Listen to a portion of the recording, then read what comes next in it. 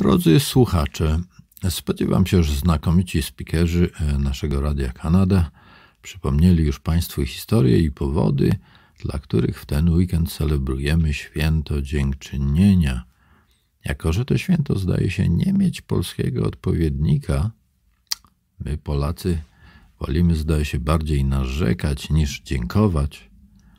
Pozwólcie, że ze swej strony dodam parę słów na temat duchowych i psychologicznych aspektów tego święta.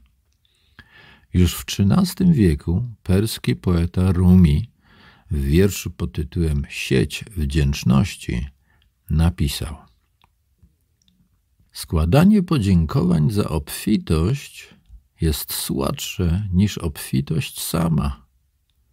Czy ktoś pogrążony w najhojniejszym powinien się dać uwieść prezentowi?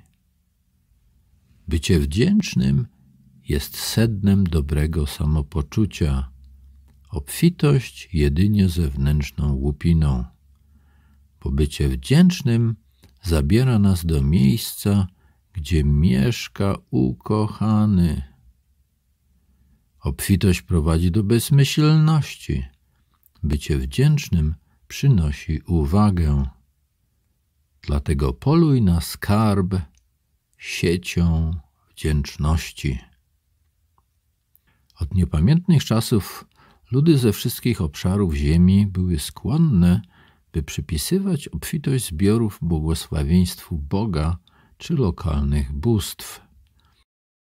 Już Rumi uchwycił wszakże, że w samej postawie wdzięczności jest coś korzystnego dla każdego człowieka. Tę intuicję Rumiego potwierdziły w ciągu ostatnich 20 lat badania naukowe, szczególnie związane z domeną psychologii pozytywnej.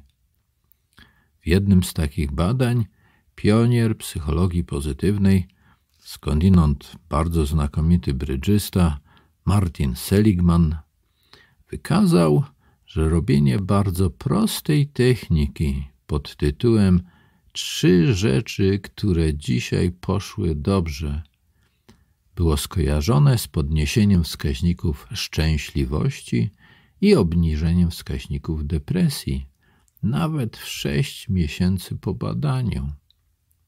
W technice tej uczestnicy byli proszeni, by zapisywali trzy rzeczy, które poszły dobrze i ich przyczyny codziennie wieczorem przez jeden tydzień.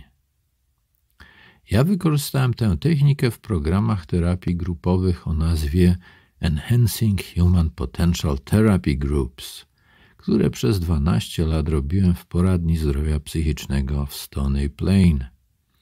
I moje wyniki wskazywały jednoznacznie, że uczestnicy, którzy sumiennie wykonywali tę technikę, deklarowali znacznie lepsze samopoczucie i większą redukcję negatywnych symptomów niż ci, którzy wykorzystywali tę technikę tylko marginalnie. Różnice te były statystycznie istotne. Drodzy Państwo, to jest bardzo proste. Wystarczy zwykła kartka papieru, na której co wieczór zapisujemy to, co się tego dnia udało lub poszło dobrze.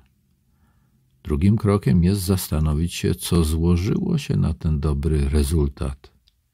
W szczególności zapisujemy nasze własne działania, które pomogły temu dobremu rezultatowi się wydarzyć. Spróbujcie i dajcie mi znać, jak Wam poszło. Na koniec chciałbym się z Wami podzielić moim własnym wynalazkiem, techniką dziękczynną z lekkim śląskim akcentem. Wykorzystuję ją szczególnie, gdy jestem w gościnie u innych ludzi. To brzmi mniej więcej tak. Jak tu jest dobrze niektórym w Kanadzie, u państwa, na przykład wojno, to już przechodzi ludzkie pojęcie. Proponuję, byście skorzystali z tego wynalazku podczas krojenia dziękczynnego indyka. Poprawienie samopoczucia jest murowane. W prawdzie, prostocie i miłości Piotr Rajski.